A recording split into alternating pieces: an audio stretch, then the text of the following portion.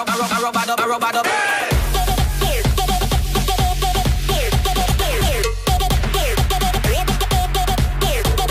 What is going on guys, Chewy here, and in today's video, we have some leaked characters for you guys, and this was all a sneak peek by Gonzo on his Twitch stream, and I decided to share it to you guys, so let's get started. The first character that we have here is named Roberto, and pretty much you can see all the positions right here on the screen, and the bottom left is his start off, the top right is his final animation, and in the far right is his death position. Now I think this character looks like Ernie from Sesame Street, and I think he was inspired by that, but he did also say that he wanted an angry character character in the game and he created this and I gotta admit it looks very good. Now the next character, I couldn't hear what this character's name is but he also said that he didn't draw this character. A female artist drew this character and he also wanted a female character added into the game and pretty much uh, you can see all the positions right here. I'm guessing the top left is her start, the bottom right is her death and then the top left is her final animation but I'm not so sure guys. You guys could like debate on whether that but I'm, I'm pretty sure about the death part. Come on. It's, it's obvious obvious. Come on, really? The next character that we have here is a working progress, and I completely forgot what this guy's name was. And pretty much, it's a kangaroo as a as a Pikachu type of thing. And basically, it's kind of it, like the name is like basically kind of like Kangachu. But anyways, guys, but this character looks so freaking good. I gotta admit, he was just messing around with it, and during the stream and everything. And there's a like, you know a before and after and everything. And pretty much, uh, this is how it looks for now. I gotta admit, it looks so freaking good. Now, the last character is a YouTuber, but I don't want to show you guys this due to the fact that I am kind of scared that his partnership or YouTube itself may just take down the video due to copyright issues. But if I can, I will leave a link in the description showing you guys a process that may or may not be added to the game. We don't know for sure. And that's it guys, so hopefully you guys are caught up on the news on what's going to happen possibly in the next update. And if you guys did enjoy, please leave a thumbs up, subscribe if you guys haven't already, and I'll see you guys in the next video.